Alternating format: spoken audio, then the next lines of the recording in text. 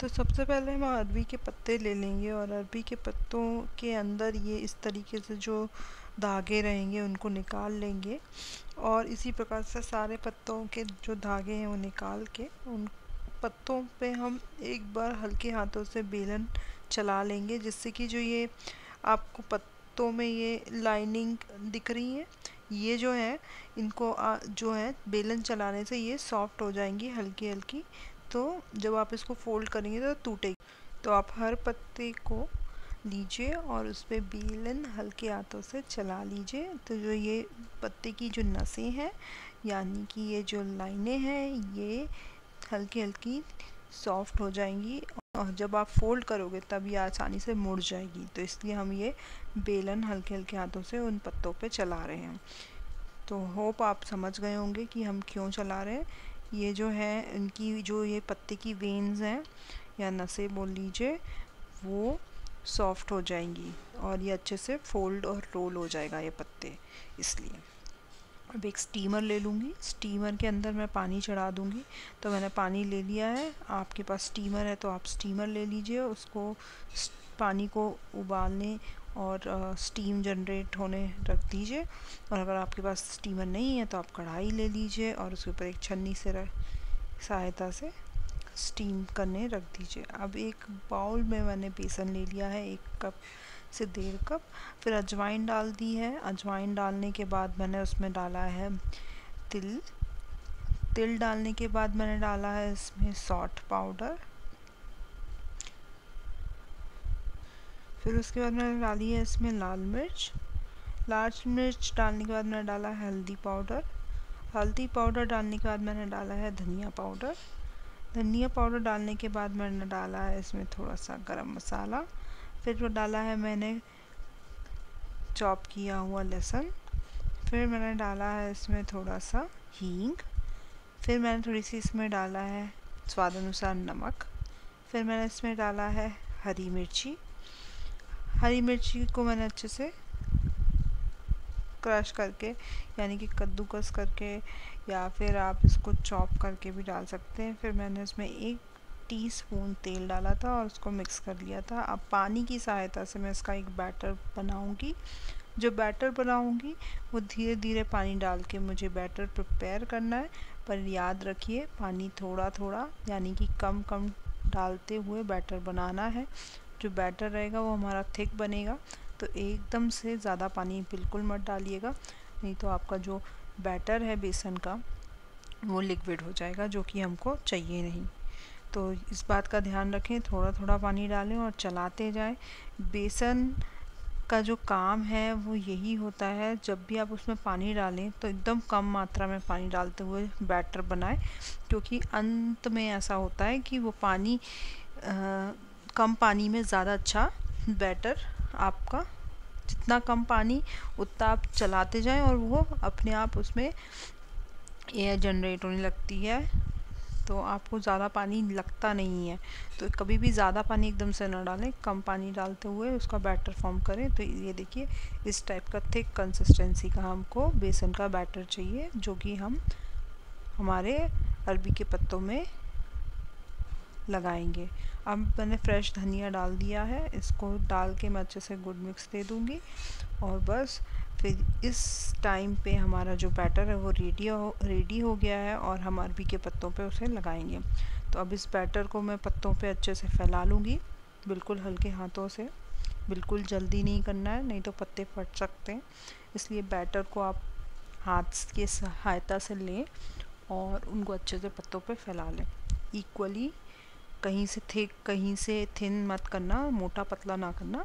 एक जैसा उसको अच्छे से पूरे पत्तों पे फैला लीजिए। तो देखिए, इस प्रकार से मैंने अरबी के पत्तों पे बेसन फैला लिया है, जो हमने बैटर प्रिपेयर किया था। और बाकी सारे जो पत्ते हैं, एक के ऊपर एक करके इस पर मैं रखती जाऊँगी। पर आप देखिए, अब मैंने ये उल्टे तरफ़ से रखा है, जो पत्ता रखा है। ठीक है? तो इस प्रकार से आप एक तरफ़ रखें फिर उसके अपोजिट डायरेक्शन करके दूसरा पत्ता रखें और उसमें भी बैटर को अच्छे से एक तर, तरीके से एक लेवल करके बेसन को फैला के उस पत्ते को कवर कर दीजिए उस बैटर से। फिर ऐसे ही दूसरा और तीसरा और चौथा आप अपना पत्ता लें और उसमें बेसन का जो बैटर है उसको अच्छे से फैला लें।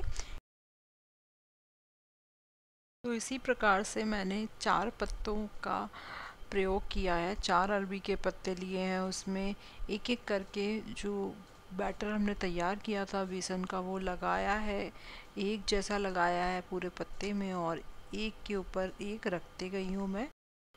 तो एक बार हमारे चारों पत्तों में बेसन लग जाएगा, उसके बाद हम इसको फोल्ड करेंगे। फोल्ड किस प्रकार से करना है वो देख लीजिए। मैंने सबसे पहले एक ऊपर से फोल्ड किया और उसके ऊपर बेसन लगाया, फिर नीचे से फोल्ड किया, उसके ऊपर फिर बेसन का बैटर लगाया है और उसको अच्छे से सील कर दिया है। इसी प्रकार से आपको ऊपर और नीचे साइड से सील करना है, फिर लेफ़्ट और राइट से आपको सील करना है। तो इस, इसी प्रकार से हल्के हाथों से उसको मोड़ें और फिर उस पर बेसन लगा दें और फिर दूसरे साइड से भी मोड़ के उसको एक पार्सल बना लें। तो ये स्क्वायर फॉर्म हो गया हमारा। एक बार हमारा ये स्क्वायर फॉर्म हो जाएगा, उसके बाद इसमें मैं हल्के हाथों से इसको फोल्ड करूँगी और एक रोल बना लूँगी। तो इसी प्रकार से आप हल्के हाथों की सहायता से इसका एक रोल बना लें। तो याद रखिए, मैंने चार पत्ते लिए थे, उसको बैटर से अच्छे से उस पे लगा के उसका अब रोल बना रही हूँ मैं। तो इसी प्रकार से आप अपना सारे बैचेस तैयार कर सकते हैं। और एक बार ये इस प्रकार से रोल हो जाए तो आपको उसका जो एंड है या कॉर्न एकदम एंड है, उसको आप बेसन का बैटर लगा के ऐसे क्लोज़ कर दो और इसी प्रकार से आप सारे बैचेस तैयार कर लीजिए। एक बार आप जब रोल करेंगे तो इसके जो दोनों कोने हैं, इन पर भी बेसन लगा लीजिए। तो ये अच्छे से सील भी रहेगा और जब आप इसको फ्राई करेंगे या फिर शैलो फ्राई करेंगे तो ये अच्छे से गोल्डन ब्राउन हो जाएगा और अच्छे से क्रिस्पी टेक्सचर देगा और अच्छा टेस्ट देगा। तो इस चीज़ का आप ध्यान रखें इसको प्रॉपरली अच्छे से स्लोली स्लोली इसको अच्छे से आ, रोल करें और अच्छे से कोट करें बेसन से। तो हमारा स्टीमर हमारा जो रखा था हमने उसमें अच्छे से पानी उबल गया और स्टीम जनरेट हो गई है। तो बस अब मैं ये इसी तरीके से जो मेरे बैचेस तैयार किए थे अरबी के पत्तों का उनको रख दूँगी और उनको स्टीम करूँगी कम से कम पंद्रह से बीस मिनट के लिए और फिर चेक करूँगी कि ये अच्छे से आ, हमारे जो हैं ये स्टीम हो गए हैं कि नहीं अरबी के पात्रा। और 20 मिनट बाद चेक करूँगी अगर नहीं होंगे तो और थोड़ी देर करूँगी। तो इस तरीके से आप अपने अनुसार चेक कर सकते हैं। उसमें बेसन को आप चेक कर लीजिए। अगर वो अच्छे से कुक हो गया है तो मतलब आपके जो अरबी के पात्र हैं वो भी कुक हो गए और अगर नहीं तो आप उनको और थोड़ी देर कुक कर लें। तो ये आप अपने अनुसार देख सकते हैं। तो हमारे जो अरबी के पात्रा हैं, वो अच्छे से स्टीम हो गए हैं। तो मैं उनको स्टीमर से निकाल लूँगी और इस प्रकार से उनको हल्के हाथों से नाइफ़ की मदद से कट कर लूँगी गोल आकार में। और हमारे जो अरबी के पात्र हैं, वो अच्छे से स्टीम हो गए हैं और अब मैं इनको कट कर रही हूँ पीसेस में। एक बार ये कट हो जाएँगे पीसेस में तो इसको आप इसी प्रकार से भी खा सकते हैं। और अगर आप उसका टेस्ट और भी बढ़ाना है तो उसमें एक आप इसका तड़का प्रिपेयर करिए और उसमें इसको अच्छे से शैलो फ्राई करके भी खा सकते हैं। और अगर आप डीप फ्राई करना चाहें तो आप उसको डीप फ्राई भी कर सकते हैं। तो इसी प्रकार से आप सारे पीसेस को कट कर लीजिए गोल आकार में और उसके बाद हम देखते हैं कि इसको कैसे शैलो फ्राई या डीप फ्राई करना है और कैसे इसका एक जो तड़का फ्लेवर रहेगा, वो प्रिपेयर करना है। तो सबसे पहले मैंने एक पैन ले लिया है। सॉस पैन में मैंने ऑयल डाला है। ऑयल जैसे ही हमारा पैन में गर्म हो जाएगा तो मैं डालूँगी इसमें जो हमारे पात्रा हैं स्टीम किए वो, और उनको अच्छे से शैलो फ्राई कर लूँगी। और मैं तो कहूँगी शैलो फ्राई भी नहीं है। बहुत कम से कम तेल में इसको आप, है ना अच्छे से दोनों तरफ़ इसको थोड़ा सा क्रिस्प लाने के लिए टोस्ट कर सकते हैं। मैं ये बोलूँगी और ये आपके ऊपर अगर आप ऑयल नहीं भी यूज़ करेंगे तो उसको हल्के से दोनों तरफ़ आप टोस्ट कर लीजिए, बिल्कुल एक टीस्पून ऑयल लेके। और अगर आप थोड़ा बहुत यूज़ करना चाहें तो मैंने कम से कम एक टेबल स्पून ऑयल लेके इनको अच्छे से शैलो फ्राई कर लिया था। अब जो लोग डीप फ्राई खाना खा खाना चाहते हैं, वो लोग डीप फ्राई कर सकते हैं, उसमें कोई परेशानी नहीं है। मुझे करना नहीं था, इसलिए मैंने किया नहीं है। तो ये देखिए, अच्छे से गोल्डन ब्राउन कलर आ जाएगा इस प्रकार से। तो मैं सारे बैचेस को अच्छे से शैलो फ्राई कर लूँगी। और ये देखिए, कितने अच्छे से जो अरबी के पत, पात्र हैं या पत्ते हैं, वो एकदम गोल्डन ब्राउन हो गए हैं और ये अरबी के पत्ते एकदम क्रिस्प हो गए थे।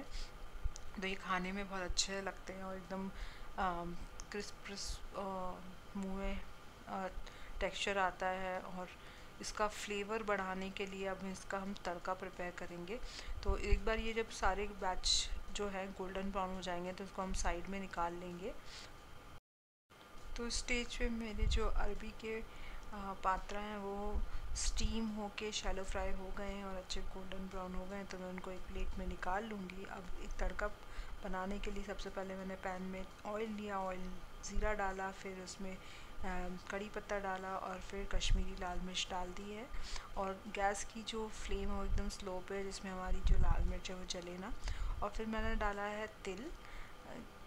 तिल डालने के बाद उसको अच्छे से मैं चला लूँगी और चलाते चलाते मैं जो अरबी के पात्रा हैं, जिनको हमने शालो फ्राई या डीप फ्राई किया था, वो इसमें मिलाते हुए ऊपर से मैं एक टेबल स्पून नींबू का रस डाल दूँगी, इससे बहुत अच्छा फ्लेवर आएगा। आप चाहें तो आप अपने अनुसार इसमें कोई भी मसाले डाल सकते हैं जिससे आपको जैसे आपको चाहिए। बट इसका जो नेचुरल टेस्ट होता है अरबी के पात्रों का, वो ही बहुत अच्छा रहता है और बहुत अच्छा टेस्ट आता है। इसलिए इसको एज़ इट इज़ रहने दीजिए। इसमें कुछ ऊपर से मसाले नहीं डालिए, नहीं तो इसका नेचुरल टेस्ट जा सकता है। तो इसको ऐसे ही इंजॉय करिए शैलो फ्राई डीप फ्राई करके उसमें ये तड़का प्रिपेयर करके इसको एकदम गरम गरम इंजॉय कीजिए चाय के साथ। बहुत डिलीशियस लगते हैं। खाने में मज़ा आता है। इवनिंग स्नैक्स हो या फिर आपका टाइम पास स्नैक्स ये बहुत अच्छा लगता है। Thank you for watching बंडला please like share and subscribe